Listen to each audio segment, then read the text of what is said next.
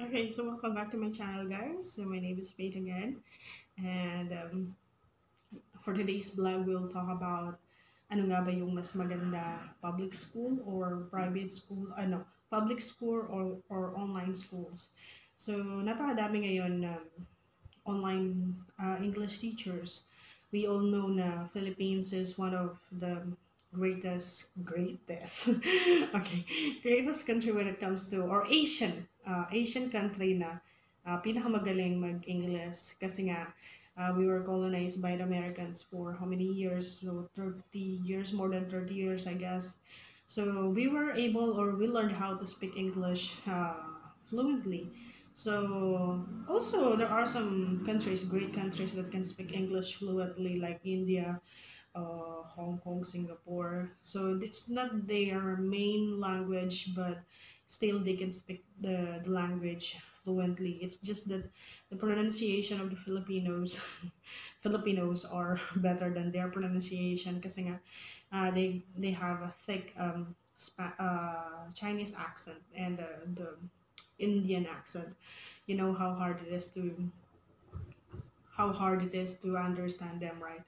So I also had or I've been to I've been to online English teacher teaching for almost seven years before I joined the public school, uh, the Department of Education. So I started 2010.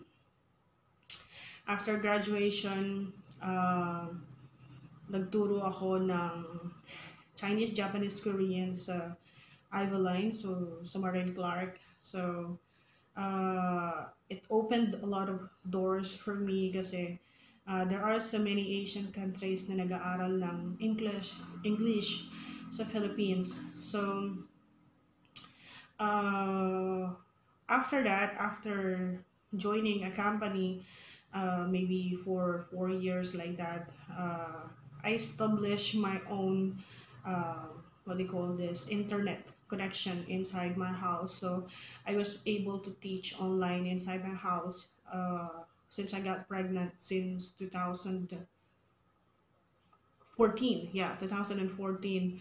So from from 2014 to 2000 to 2017 uh nagturo ako ng English sa uh, bahay. So home-based online or English as secondary language teacher sa so to different nationalities all over the globe.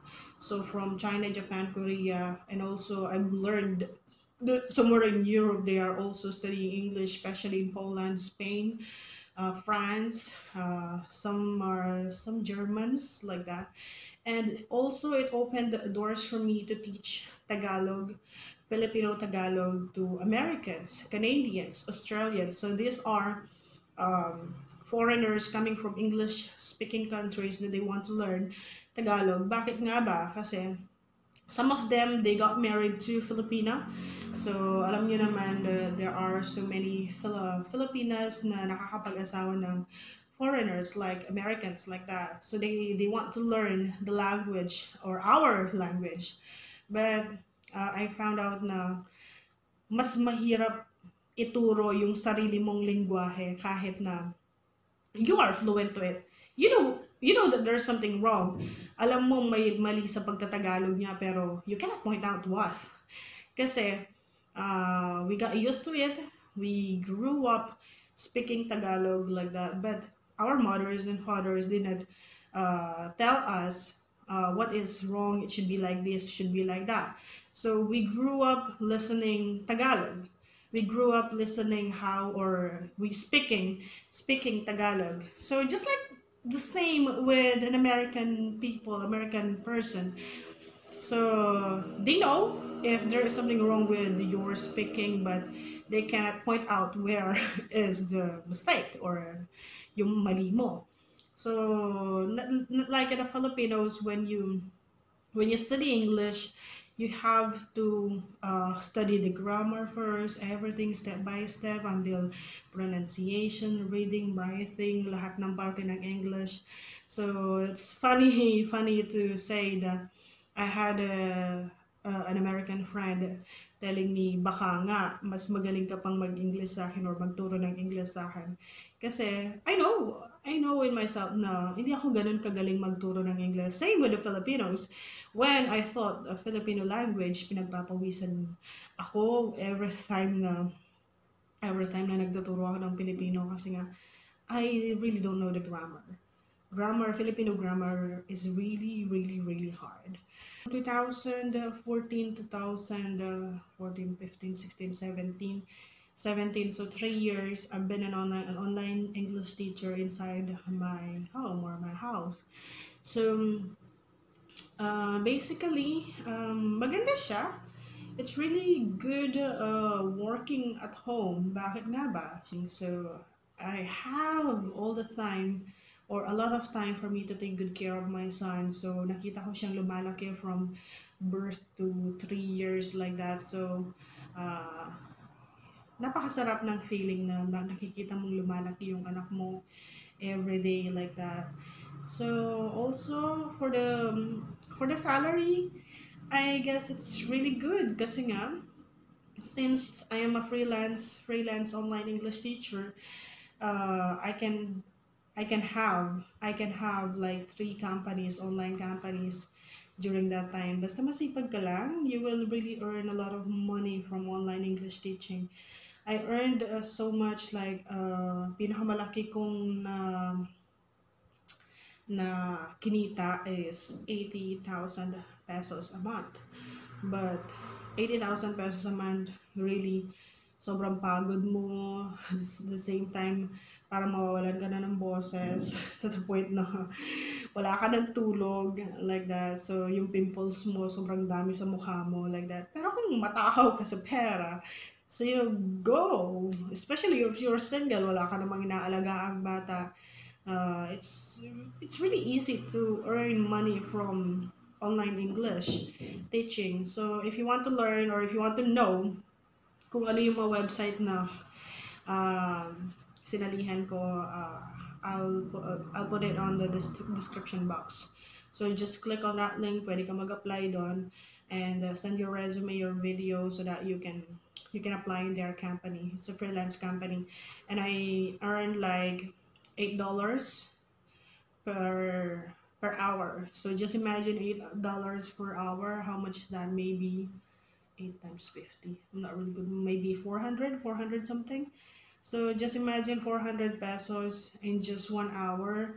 Compare mo siya sa, sa public school. Sa public school, I earned like 800 a day. So, for 8 hours na yun, ha? So, kung i-divide mo siya sa dalawa, 400 plus 400. So, 2 hours mo lang siyang kikitain sa online. But since uh, I I'm looking for stability.